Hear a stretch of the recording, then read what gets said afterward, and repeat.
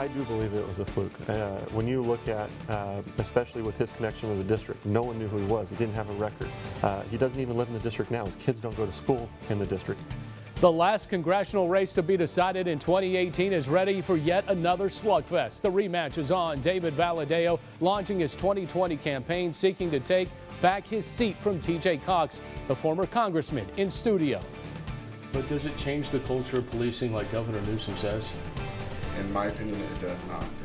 For the first time, Clovis's new top cop opens up one-on-one with Police Chief Curt Fleming, why he says the new deadly force law doesn't change a thing.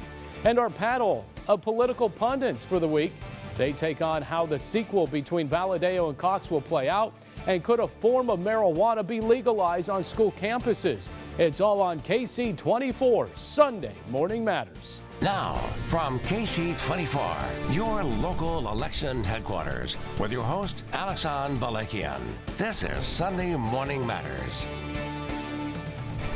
And good Sunday morning to you. I'm Alexan Balakian. Thanks for joining us. You can also join the conversation at Real Alexan. Use the hashtag Sunday Morning Matters. Along the way, NBA veteran and Valley native Quincy Pondexter joins me here in studio for an exclusive conversation on his future at City Hall and in politics. But first, the rematch officially on. David Valadao running for District 21 seat, the same seat he lost in the last congressional race to be decided in 2018, punctuating that blue wave. Valadao lost his seat in a shocking turn of events where on election night he was up 5,000 votes and ended up losing to TJ Cox by less than 900 votes. And now Valadao looking to avenge that loss. And the former congressman joining me now, David Valadao. How are you? Not bad. How are you ready you? to do this again? Yeah, I'm excited. All right. Well, you know, the last time we spoke, you were at the Mike Pence USMCA uh, rally there in Lemoore. Uh, at that time, you said you weren't ready to make a decision. Um, what was the deciding factor for you to finally say, all right, I'm ready, I'm going to do this again?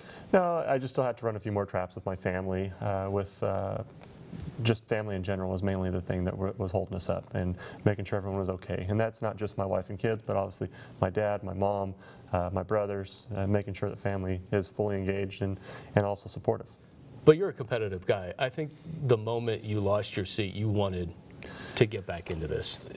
Yes. Um, yeah, obviously you don't like to lose, and especially me. I, am a very competitive person. I, I, take things very seriously, and uh, and we do our best as a team. And uh, frustrated. But to sit there and say the next morning, no, it wasn't like that at all. Uh, for a period of time, I even thought about not doing it again. But uh, obviously, time changed. You know, on election night, uh, November 6, 2018, you know it well, obviously. Uh, you tweeted, you declared victory. Yeah. Uh, a lot of us media types, we thought you were the winner. You well, were up by 5,000 votes. You went to bed that night thinking you were the winner. And if you look back, we waited for the AP to call it. Mm -hmm. We knew it was going to be tough. Our polling told us a week out that it was going to be a tough election, and so we knew.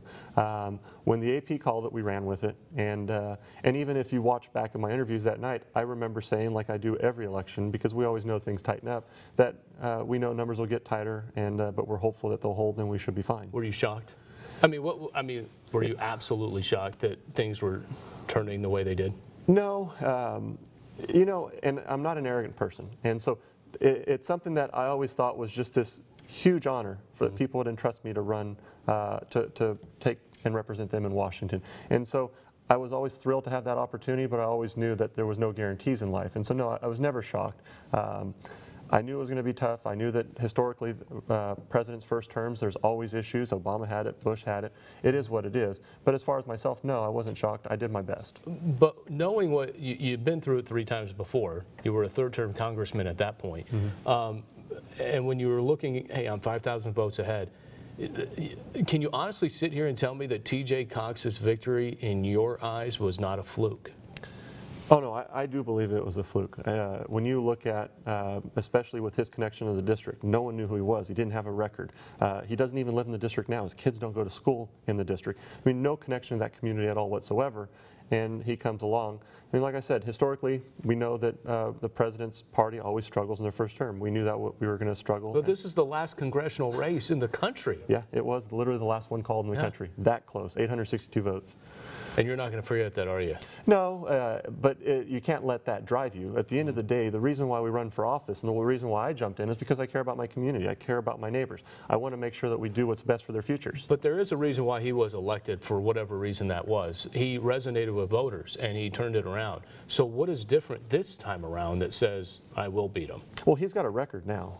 And so he's got a record of doing nothing. And that right there is huge. When people elect people to Congress, when a, a community elects people to Congress, they expect them to stand up and do something for them. Right now, we're not seeing that. We're seeing someone who goes back there just to add to the fight and add fire uh, or, or add fuel to that fire where nothing gets done. I've got fellow uh, members of Congress who call me all the time and say we literally do nothing because new leadership here just wants to pass messaging bills. It's a waste of time. Appropriations process is slowed to a halt.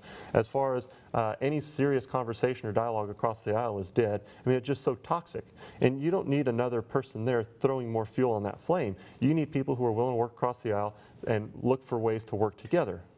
Well, let me ask you this because, you know, TJ Cox has been in your same seat on this very program. I peppered him about his financial uh, disclosures that didn't come out to the to the campaign and that have recently come out within the last month.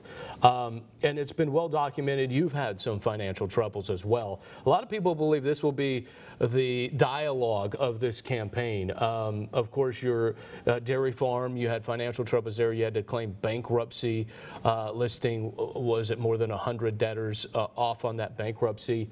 Um, how do you plan, though, to turn that around and say, hey, I'm good for farmers, I'm good for businesses and farmers, knowing that's on your record? So there's two very different situations that you're talking about here, though. One, if you follow the dairy industry in California and the nation, dairy struggled for a very long time. The last 10 years have been very, very hard on dairy. The 09 turn down, uh, uh, downturn that we had in our market destroyed a lot of dairy families. I grew up watching my friends slowly, one by one, lose their dairies. I knew we all know at some point you could be next on the bottom of the food chain and, and go.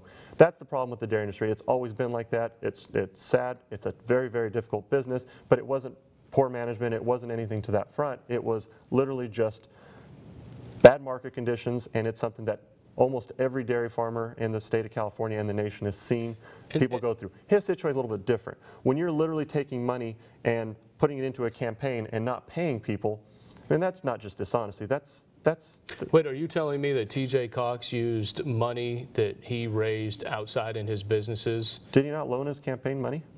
I have no idea. He just If you're telling me that, is that what you're saying? no. it- It's it's the case. We do know that. Okay. How much of that is going to be the dialogue of this campaign, though? Are- How much are you? Uh, we know how the commercials go. We know how the ads go. I think how there are- nasty is this going to get? I think there are bigger issues to worry about today. Uh, I think there are much bigger issues, and I, I would prefer we stay on the issues that affect people at home, and that's what's most important. You say that, but we know how this is going to go, right? Well, we can't control a lot of the outside groups. We can't control everything. But at the end of the day, us as candidates, we can control that. We can control our message. We can control what we talk about on uh, on different programs. And he's well ahead on campaign dollars. Uh, are you? How are you expecting to catch up here? I've got to work hard. Where, where, you know, you have aligned yourself mostly with President Trump's vision, right? And you say dairy farms have been down.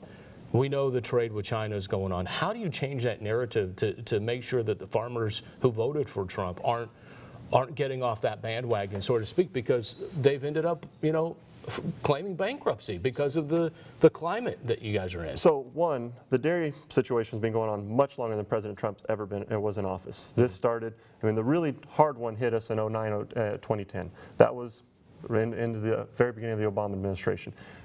People struggle from that point forward. As far as trade right now and what's going on with farmers, you've got a lot of markets opening up. And so if you look at what's going on with the, the opportunity we have in Japan, you've got the opportunity right now with the USMCA, which this Congress has failed to bring up for a vote, even though the other countries have already supported it. And uh, those are opportunities to help us. One thing that agriculture wants more than anything is to not have one market for their product. And if all you talk about is China, that's basically essentially given up every other market in the, in the world. And this president has tried to spread, uh, spread things out.